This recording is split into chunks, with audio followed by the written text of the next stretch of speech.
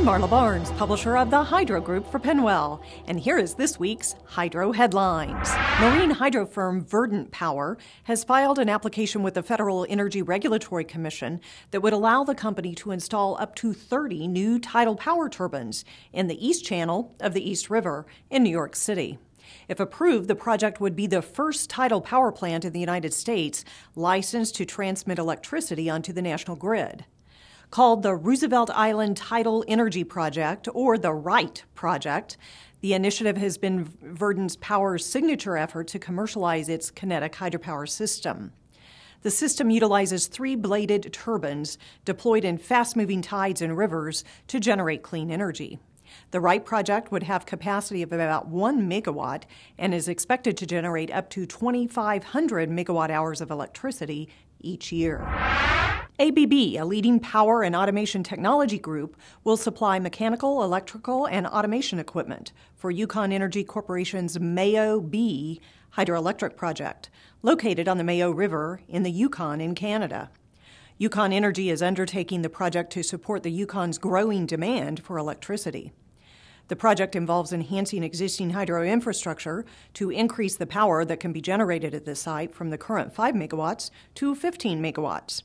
ABB will be supplying the excitation system, governor system, and additional equipment. In addition, ABB will be providing required site services to ensure the project is operational by the end of 2011. The value of the contract was not disclosed. In Colombia, state generator Isagen has completed a process to acquire $53 million in financing to help fund construction of the Sogamoso hydroelectric project. The financing comes in the form of two 15 year credit notes from financial institution Bancolombia. The 820 megawatt Sogamoso hydro project will supply 10% of Colombia's energy needs and increase Isagen's generation capacity by 38%. The project is expected to come online by the end of 2014. Isagen has previously held several bond issues to secure financing for the project. The deadline for nominations for the Excellence in Renewable Energy Awards has been extended, and nominations are still being accepted. These awards recognize the best companies, people, and projects in the North American renewable energy industry.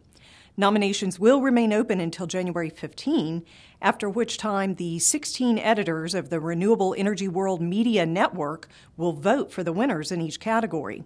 Winners will be announced at the Renewable Energy World Conference and Expo in Tampa, Florida in March 2011. To submit your nomination and learn more about last year's winners, visit the awards site at www.renewableenergyworld.com. Hydro Review magazine announces that a new Hydro Review iPhone app is now available. Keep up with the latest developments in the worldwide hydro industry anywhere you go with this new application.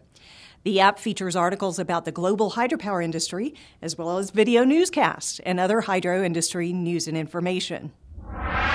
Well, that's the hydro news for this week. Please watch for this newscast each Tuesday, brought to you by Hydro Consulting and Maintenance Services.